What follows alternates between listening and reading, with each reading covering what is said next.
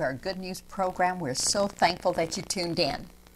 These are the most important lessons I have ever taught because we are in the last days.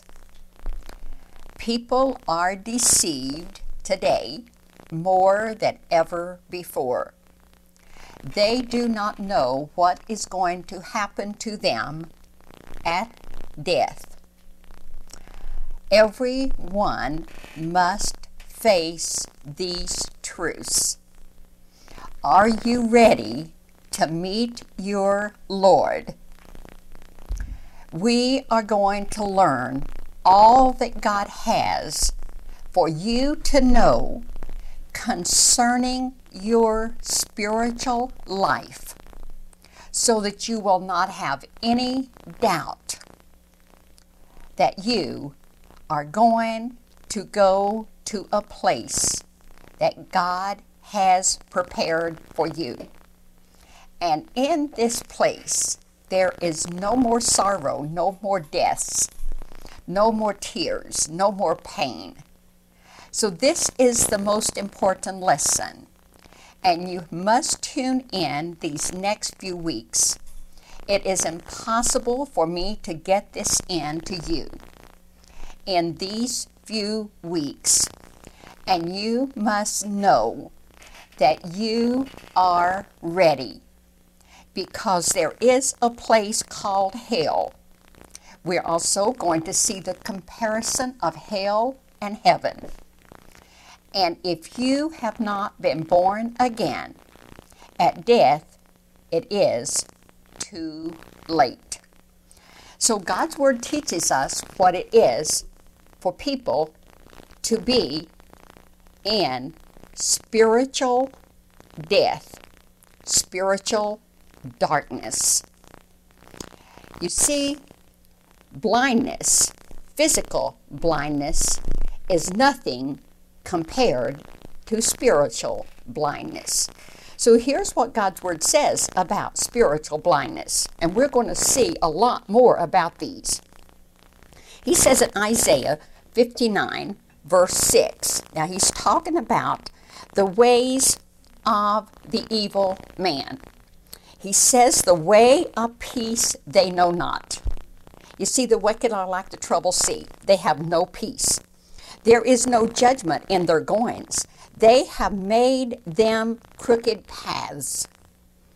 Whosoever goeth therein shall not know peace. Verse 9 Therefore is judgment far from us. This is what they say. Neither doth justice overtake us.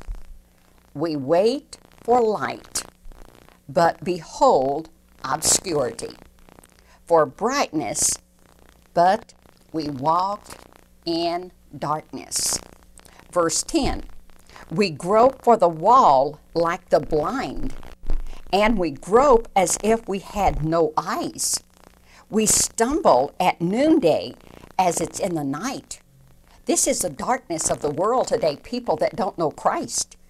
We are in desolate places as dead men. This is what the world is like today.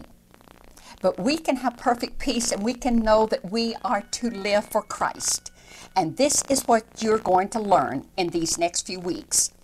And you must know that God's Word says also in Isaiah 59, beginning in verse 2 For your iniquities have separated between you and God, and your sins have hid his face from you that he will not hear. You see, this is what people that are blind and don't know the Lord Jesus Christ, spiritually blind, they can't hear these truths. Let's pray. Oh, our gracious and dear Heavenly Father, we thank Thee and praise Thee for these most important lessons in these last days that we're living. We pray that Thou will open the spiritual eyes of every person that is hearing these truths. Prepare them to be brought out of darkness into light out of the power of Satan unto thee. And we thank thee for what thou art going to do through these lessons, that thou art going to bring one hundredfold. And we're thanking thee because it's not thy will that any should perish, but that all should come to repentance. And this is the confidence we have.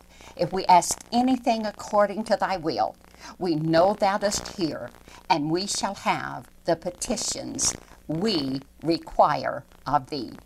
Thank thee for hearing and answering our prayers. Rebuke this awful enemy today. Give us victory over all satanic powers, over all demonic spirits. In Christ's name, I pray. Amen. So, the first thing we're going to learn is the beautiful lessons about this book. This is a spiritual book for a spiritual people. You cannot know this book apart from being born again.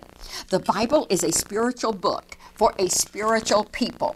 The Bible is a book to answer all of life's questions. You see, we turn to this book every day for directions, for guidance. This is what He wants for us as true believers. And this book meets all of our needs. My God shall supply all of your needs according to his riches and glory by Christ Jesus. This book is the unfolding of his divine plan and purpose for every true believer. If we will open our hearts and receive this gift of eternal life and forgiveness of sin. This book was written over a period of 1600 years by 40 different holy men of God that he gave these words to.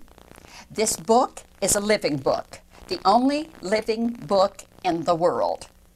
And holy men of God spake as they were moved by the Holy Spirit. They wrote it, and God gave them the message. God breathed this message, and it takes the blood of Jesus Christ. This is the blood of Jesus Christ goes through this book. Every page of this book, His blood is in this book. And it is the blood of Jesus Christ that gives us power for the Word of God, the gospel. That is the power of this gospel that we teach. And then we see it is also that we are to get the best out of this book and this study of God's Word. This is how that we are to give out the Word of God. And it is the blessings of the revelation of Jesus Christ. To get the most out of this book, I must know the Holy Spirit is teaching me all things. He's the best teacher then after I'm born again, I cannot ex- even receive blessings unless I'm worshiping in spirit and in truth. The Holy Spirit has to have the Word of God. They can't be separated. Jesus Christ came to make known and manifest the Father. The Holy Spirit came to make known and manifest Jesus Christ. That's the revelation that the Spirit of God teaches us. And you have to know the Word of God before the Spirit of God can work. This is a living, listen at this. This is a living message, a divine living message from the heart of a living, loving, life giving God. This is a divine message. And this means I have to have divine conception. This book opens with the fact of God. In the beginning, God created the heaven and the earth. I look at the heavens today and they declare the glory of God. This is the de- declaration of the creation. This is the beginning, and this is the source of all that this world and all the things that we see were created by Him. And then we have fellowship with Him as true believers. Then, since He's the source of all the world's goods, what am I to do? Well, creation is God expressing what He is. Expressing what He is. You see, we must know He's the Creator. We must know Jesus Christ is a living Word. And we must know first and the greatest revelation of all, from the beginning to the end, that God is love. That God is love. John 3:16 For God so loved the world that he gave his only begotten son that whosoever believeth in him should not perish but have everlasting life. You see, God has already given Christ to the world. For God so loved you. But each individual must appropriate him by a personal act to get the personal advantage of this gift. Now, you know that he's a gift from God, and you know that you can do nothing, nothing, absolutely nothing to earn salvation. Because God's Word teaches, For by grace are you saved through faith, and that not of yourselves, it is a gift of God, not of works, lest any man should boast. This is the only way that anyone can get to heaven, is receiving this gift. And we don't deserve it. We deserve an eternal hell. But our, all of our sins were laid on him. So God's word says in Romans 8 9, if any man have not the Spirit of God, he is none of his. He is none of his. Justification from all things is offered now by faith in Jesus Christ. This is a blessed message of the gospel of grace. This is the blessed message of the gospel of grace forgiveness of sins and a perfect justification from all things. Now, this is what we see here justification means I've been declared righteous by God. This is all sins, all means all, and that's all all means. You see, we see in this Bible verse. The blood of Jesus Christ, his Son, cleanses us from all sin. All means all, that's all all means. So here I have his righteousness, and I have been declared righteous, and I have a robe of righteousness that covers me. I am hid with Christ in God. Then I know that being justified by faith we have peace with God. This is the peace that passes all understanding. Do you know this peace that God is love? And no matter how far afield you go in this life in deepest sin, He died to save you. He died to save you. When God created the heavens and the earth in the very beginning, the earth was a ball of light a ball of light, the revelation of the very nature of God. For God is light. God is love, and God is light. This is the only way that any person can get to heaven. And we see in Ezekiel 43, verse 2.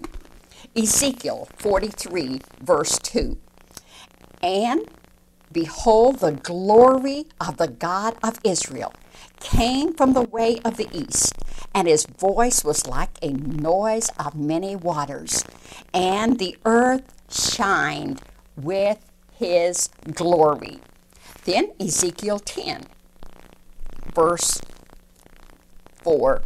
Then the glory of the Lord went up from the cherubims and stood over the threshold of the house and the house was filled with a cloud, and the court was full of the brightness of the Lord's glory. You see, Jesus Christ is the glory of God. We're to be changed from glory to glory. From glory to glory as a true child of God. And when we give out this word, the glory of God is being manifested. And then Ezekiel 10:1. I looked and behold the firmament that was above the head of the cherubims. There appeared over them as it were a sapphire stone, as the appearance of the likeness of his throne. You see, here we see his attributes are his divine perfection. He is perfect. He never sinned. And when the Holy Spirit comes to dwell in our bodies, we are to be holy as He is holy. Now, we're going to talk about these because these are the most important lessons for you to understand what happens to you when you are born. You're born a sinner. Every person. In Adam, all die. In Christ, all live. Genesis 2 7. And the Lord God formed man out of the ground, the dust of the earth, a lump of matter. That was his body that God created him. And breathed into his nostrils the breath of life. God is the only one that can give life. That is his spirit. And man became a living soul. This is the soul of man. Now, when we talk about this, you must understand that you must understand what it is. The Spirit of God is God the Father, God the Son, and God the Holy Spirit.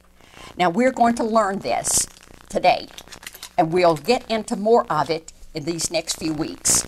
But the body of man touches the material things through the five senses of sight, of hear, smell, hearing, and taste and touch.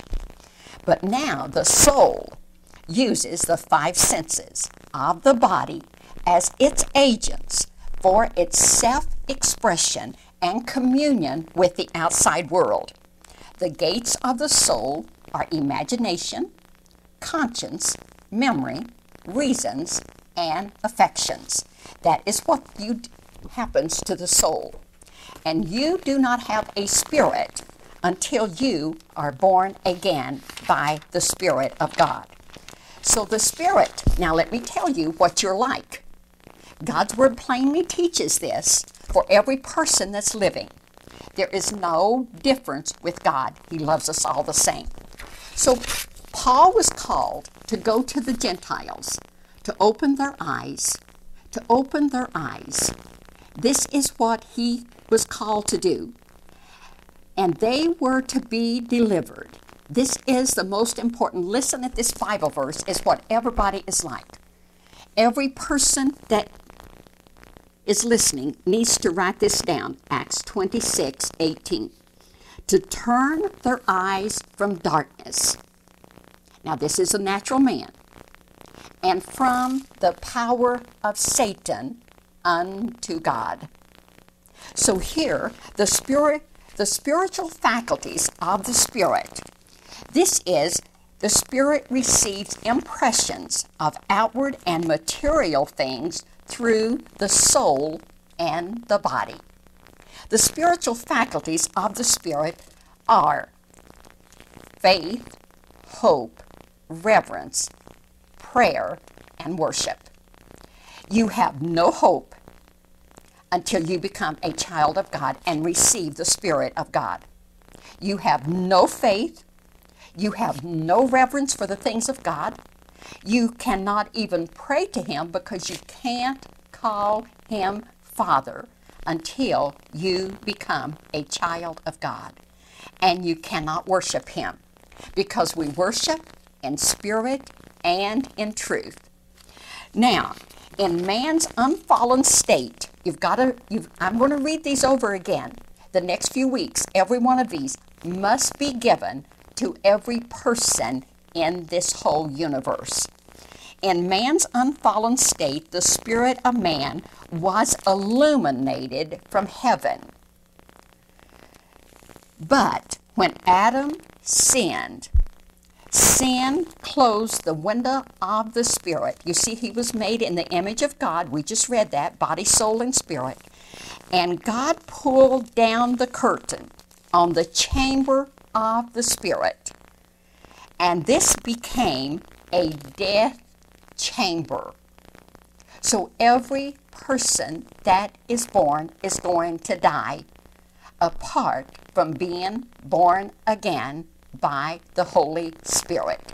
Divine conception. And this remains so in every unregenerate heart until the life and light giving power of the Holy Spirit floods that chamber with the life and light, giving power of the new life in Christ.